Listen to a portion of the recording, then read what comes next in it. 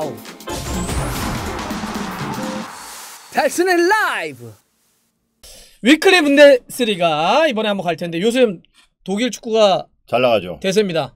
독일 축구가 잘 나가는 건지 프랑스 축구가 잘 나가는 건지 아 아니면 잉글랜드가. 못 나가는 건지 다 맞아요. 일단은 야 이거 이거 이런 일이 있었습니까? 이런 일이 없다고 하더라고요. 저도 사실 이거를 뭐 옛날 걸 다 찾아볼 수는 없잖아요. 그 챔피언스리그 4강에 한 나라 국적의 감독이 세 팀 이상 섞인 게 이번 역사상 처음이래요. 그것도 독일이. 어쨌든 최초니까 뭐 프랑스나 스페인도 독일이. 없어. 어, 그것도 독일이. 좀 신기한 일이기는 하죠. 아, 그러니까 예를 들어서 우리가 기본적으로 아 축구가 되게 전술적이다. 네. 아니면 전술사에 있어서 이름을 날렸던 사람들 보면 이태리 쪽이 좀 많고. 그렇죠. 네. 아니면 뭐 네덜란드도 좀 네덜란드도 있었고, 있죠. 네. 뭐 스페인도 좀 있었고 예를 들어서. 그렇죠. 근데 독일은 사실은 그렇게 막 떠오르진 않았거든. 그리고 심지어 지금 여기 올라온 나겔스만 감독이라든지 한지 플릭이라든지 토마스 투헬 이 감독들이 세계적으로 이름난 명장의 반열에 올라 있는 사람들이냐? 사실은 거기서 그렇지. 만큼이라고 볼 수도 없거든요. 그러니까 이- 물론 이제 떠오르는 건 어, 맞고, 그럼요, 아, 그럼요. 그건 맞지만 이제 얘기하신 그런 거죠. 예를 들어서 뭐 레알이 선, 저 감독을 바꾸려고 그래. 바르셀로나가 바꾸려고 그래. 그러면 거기에 아니죠. 하마평에 오르, 오르냐는 거지. 아 전혀 안 오르잖아. 어, 현재로서는 예. 솔직히 전혀 아니죠. 그러니까 그런데 야 이거 갑자기 막 독일 감독들이 대박을 치니까 여기에 또 그러니까요. 이제 상징적으로 또 바이에른 미네는 뭡니까? 바이에른 뮌헨 나 그것도 따집시다. 축구가 사람이 하는 거죠. 축구가 인간미가 없어. 저는 바르셀로나가 이긴다고 하는 사람이라 근데 이게 너무 잘하는데 이게 보면 또 이 세 명이 공통점이 뭔지 알아요. 저 무슨 얘기할지 알아요. 왜? 현역 때 별로 유명하지 어, 않았던 그러니까 아니 사실 저기 나게스만 같은 경우는 스무 살 때 그 초에 다쳐가지고 그렇죠. 사실상 뭐 선수 경험이 없다고 봐도 무방하고 전혀 없다고 봐야죠. 네. 프로 선수로 경험은 전혀. 투엘 전무. 같은 경우도 한 20대 중반에 다쳐가지고 또 역시 그렇죠. 그만뒀고 네. 한지 플리크가 그나마 바이에른 뮌헨에서 뛰었는데 솔직히 뭐 이렇게 전혀 강한- 주전급은 아니었죠. 강한 기억력은 없어요. 뭐 예를 그렇죠. 들어서 독일 청소년 대표는 했지만 무슨 뭐풀 대표를 하는 게 아니니까. 그렇죠. 어. 어, 어떻게 보면 뭐 한국에서는 이런 류의 감독들이 나오기가 정말 어렵죠. 응, 응. 뭐 프로팀 감독도 사실은 하기가 어려우니까. 음. 근데 뭐 독일에서는 어, 독일뿐만이 아니라 유럽이 전체적으로 이제 선수 생활을 했냐 안 했냐를 그닥 그렇게 중요하게 생각하지는 않아요. 그게 아 선출이냐 아니냐. 네. 중요하기는 하지만 그게 절대적인 필요 조건은 아니라는 거죠. 우리가 이거는 한번 좀 생각해 봐야 될 게 네. 뭐냐면 유- 우리도 조금씩은 사라져 있지만 여전히 좀 바꿔야 될 게 뭐냐면 과거에 한 것은 중요하지만 과거에 한 게 전부인 아이, 것처럼 그럴 받아들이는 게. 있잖아. 그러니까 우리 이런 거 토론하다가 막히면 뭐라 그러냐면 너 차봤어? 어, 이 얘기가 나오거든요. 너 어디서 공 찼어? 너 대표팀 몇 경기 뛰었어? 이래버리면 안 되거든. 근데 뭐 요즘은 이거 막 토론하다 않겠지만 하는 거랑 똑같은 거야. 그러니까 모든 게 뒤- 묻히는 거죠. 그러니까 그 다음서부터. 아니 지금의 이 경기를 갖고 분석을 하자는데 그게 있었다니까요. 그래서 이제 이런 걸 점점 없애야 되는데 왜냐하면 이게 아까도 얘기했지만 그런 얘기했지만 아니 당연히 그 과거의 경험들은 중요하죠. 매우 중요하지만 그게 중요하죠. 전부라고 해버리면 그러면 우리가 대학에서 음. 교육학이라고 하는 학문이 왜 있어요? 그냥 그냥 학생 때 배웠던 게 전부면 그 잘했던 공부 잘했던 애들 선생님 시키면 되지. 하지만 가르친다라고 하는 건 다른 영역인 음. 거지. 내가 배웠던 거와 알고 있는 걸 가르치는 건 다른 영역이니 그렇죠. 교육 교육대학을 만들고 교육학을 만들어서 이 선생님들을 만들어내는 거 아니에요? 그러면 그렇죠. 음. 지도자도 마찬가지라 생각해요. 지도자도 가르치는 거는 다르다고 하는 건 인정을 하면서 그걸 막 공부를 많이 한 사람들 이렇게 무명이었거나 잘 이렇게 알려져 있는 선수는 아니었지만 열심히 공부한 사람들을 자꾸 기용해서 음. 아니면 뭐 정말 선수 때 잘 나갔던 사람도 그래야 자극도 받을 거 아니야. 아 내가 옛날에 공을 잘 쳤지만 저렇게 연구를 해? 어 저렇게 음. 분석을 해? 난 이게- 나는 교훈이 있다고 생각해요. 저는 이게 어떻게 보면 박문성 의원 지금 말씀하신 게 나겔스만 감독이 말한 거하고 일맥상통하는 부분이 어? 사실 그래요? 있어요. 그러니까 나겔스만 감독도 그런 이야기들을 안 듣진 않았겠죠 살면서. 아 그럼요 있겠죠. 근데 이 본인이 경기를 치르고 났을 때 이제 그런 질문들을 수없이 받잖아요. 막상 경기를 90분을 치르면 감독이 경기 변화를 줄 수 있는 상황은 그렇게 많지가 않다. 음... 이렇게 얘기를. 그러면 경험이 아무리 많다 한들 경기 중에 내가 이 경기 분위기를 바꿀 수 있는 게 경기 중 90분에 몇 번이나 있겠냐? 없다. 음... 많아야 한두 번이다. 하프타임에. 음... 그러면 결국은 그걸 얼마나 잘 준비를 하느냐. 내가 하는 거는 볼 차는 걸 가르치는 게 아니라 음. 전체적인 큰 틀 전술을 잡는 거기 때문에 그렇죠. 그거를 만들어가는 과정인 거지. 뭐 지금 뭐 프로 선수들한테 뭐 내가 볼 차는 걸 가르칠 거냐 그건 아니지 않냐. 아니 그리고 프로 레벨에 저 정도까지 올라간 선수 챔피언스리그에 나갈 선수들한테 이게 무슨 인사이드 패스 가르쳐 주지 야, 않잖아요. 거기서 아웃프런트로 쳐야지 막 이런. 한지 플릭은 좀 얘기해 주세요. 그러니까 예를 들어서 지금 보니까 나겔스만이나 투헬은 그래도 그나마 좀 여러 가지로 축구도 봐왔고 알린 게 마- 알려진 게 많은 것 같은데 한지 플릭은 한지 플릭 감독 같은 경우는 요아힘 뢰프 감독이 있을 때 이제 코치로 많이 알려졌죠. 그렇죠 대표팀 코치. 똑같이 하얀 음, 그 와이셔츠 입고 음, 그러고 나왔던 사람인데 말씀하신 대로 바이에른 뮌헨 선수 생활도 좀 했고 그러니까 나름대로 선수 생활을 했지만 그렇게 뜨지는 않았어요. 그러면서 축구 협회 쪽에서도 코디네이터로도 일을 하고 여러 가지를 맡아서 하다가 뢰프 감독이 뽑은 거죠. 음. 그래서 내 코치를 해라. 이랬다가 이제 코치에서 물러나고 다시 어, 협회 쪽으로 갔다가 뭐 단장 뭐 이런 류의 네네 일들을 주로. 이제 프런트직을 많이 어, 맡았었죠. 그리고 사실 뮌헨 감독을 맡은 것도 얼떨결에 맡은 거잖아요. 어. 뭐 니코 코바치 감독이 오케이, 오케이. 그렇게 물러나면서 사실은 준비가 돼 있지 않은 상태였기 때문에 바이에른 뮌헨은 다음 감독을 준비를 하고 있었어요. 음, 근데 이제는 다음 감독을 누가 하지라는 말은 이제 없거든요. 네.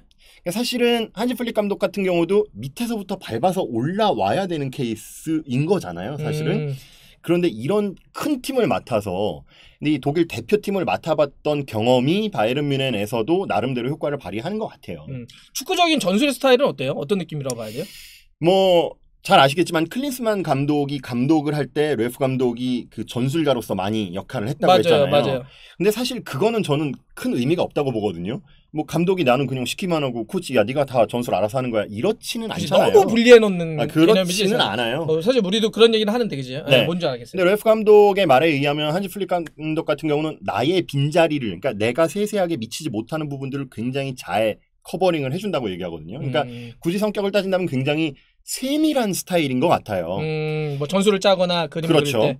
그리고 세밀하다라는 부분에서 저는 올 시즌 그러니까 뭐 뮌헨 얘기가 나오기는 하겠지만 뒤에 굉장히 세부적인 것까지 전달을 한다 하더라고요. 아 예컨대 뭐한 크로스를 할 때 그러니까 가운데로 무조건 띄워놓고 이 골키퍼하고 1대1 상황을 만들지 말고 치고 들어가면 뒤쪽에 서 있는 선수들에게 아주 정확하게 좀 연, 야 연결해줘. 48도 46.5도 뭐 예를 들어서 그런 거죠. 그러니까 천편일률적으로 이렇게 들어가기도 하고 어떤 데는 컵백을 하기도 하잖아요. 그런데 맞춤 전술로 어차피 뭐 바르셀로나 같은 팀들은 결국 다 안쪽으로 들어간다. 그러니까 바깥쪽에 빠져 있는 선수들을 지정을 해준다든지. 음, 이제 아, 이런 아주 것들을- 구체적으로 네. 야 그런 건 약간 독일스럽다 그러니까 골이 나오는 과정이 밀러 같은 경우가 이렇게 뒤쪽으로 빠져나와서 아. 한 거잖아요. 그러니까 그런 작전들이 어느 정도는 머릿속에 있었다는 얘기죠. 야 약간 독일스럽다는 느낌이 있어요 그럴 수 있을 아, 것 같아요. 네. 근데 이런 독일 축구의 전성 독일 감독의 전성 시대는 프리미어리그에서도 확인되고 아, 그렇죠. 프리미어리그에서 독일 감독이 우승한 게 클롭이 처음이에요 그렇죠. 어. 이거 독일- 뭐가 있는 거 아니냐는 거예요 독일 감독 자체가 누가 있었는지도 솔직히 잘 이렇게 기억에 남는 사람은 없어요. 그러니까 예를 들면 이런 감독들은 있죠. 우리가 기억하고 있는. 그러니까 독일 출신의 감독 그러면 뭐 레하겔 그리스를 우승시켰던 오토 대제. 아 히츠펠트. 근데 이런 건 있는 것 같아요. 물론 이제 레아겔 감독 같은 경우는 네. 정말 그리스를 정말 재미없게 해가지고 이겼잖아요. 재미없는 건 중요하지 않아요? 위대한. 위대한 전술가라고 부르진 않잖아요. 레아겔을. 아니죠. 아, 그냥 레아겔을 뭐 이렇게 스- 승부사는 맞는 것 같아. 있는 자원을 잘 활용하는데 천재적인 소질을 가지고 있다. 그렇죠. 그래서 네, 이제. 결과를 끌어내는. 네. 그러니까 이거를 왜 그러냐면 사실 그동안 우리가 독일의 축구나 음흠. 독일 감독하면 느낌이 좀 그랬어. 그러니까 답답하고 예를 들어서 게리 리네커 박힌. 뭐라 그랬죠? 잉글랜드와 독일 축구 어. 그렇죠. 뭐 축구는 11대 11로 싸워서 늘 독일이 이기는 게임. 그러니까 그러잖아. 재미없는 게임의 대명사. 어, 그러니까 뭐든지 누구든 게임에서 우리가 무슨 전술을 쓰거나 하건 열심히 싸우는데 항상 독일이 이겨. 경기는 우리가 아무리 잘해도 이런 느낌이었죠. 그러니까 그렇죠. 독일이 그런 실리와 결과를 굉장히 음. 잘 가져간다. 근데 그런 거였는데 최근에는 아까 했던 것처럼 클럽 감독도 개, 개겐 프레싱. 클럽 감독은 이제 뭐 조금 다른 이유가 되긴 하겠지만 확실하게 자기만의 색깔이 있는 감독이었으니까. 음, 근데 뭐 클럽 감독 같은 경우는 마인츠 시절부터 이런 식으로 축구를 하진 않았어요. 음. 마인츠 시절에도 뭐 여러분들이 얼마나 많이 보셨을지는 모르겠지만 저도 사실 뭐 그렇게 많이 본 건 아니지만 음.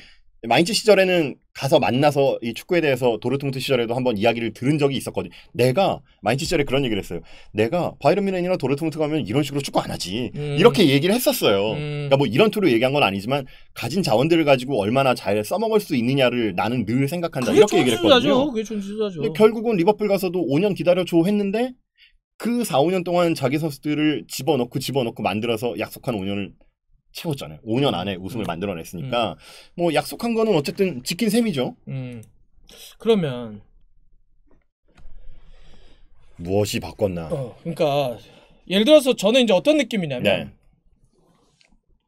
독일은 독일 그러니까 우리가 세계 축구 전술사의 어 한 획을 보면 예를 들어서 뭐 헝가리, 브라질 중심의 아주 공격적인 4-2-4 그렇죠. 느낌들 뭐 2, 3, 5 뭐, 옛날식의 어, 어, 2, 3, 5. 뭐, 뭐 오버랩 들어가는 걸 네. 만들어 버린다든지 그랬더니 스위스와 이탈리아를 중심으로 해서 야 볼트 시스템과 카테나치오를 만들어 그렇죠. 그랬더니 네덜란드를 중심으로 해서 또 이제 total soccer를 soccer. 만들어서 야 공격과 수비 다 같이 해버려.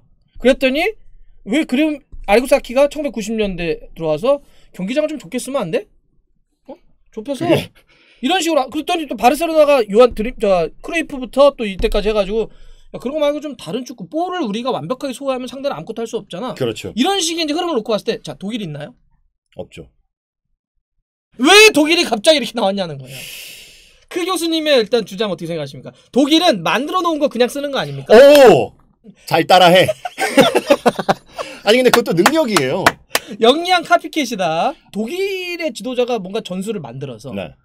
뿌린 건 없네. 뿌린 건 없어요. 제가 볼 때는 물론 만들었겠죠.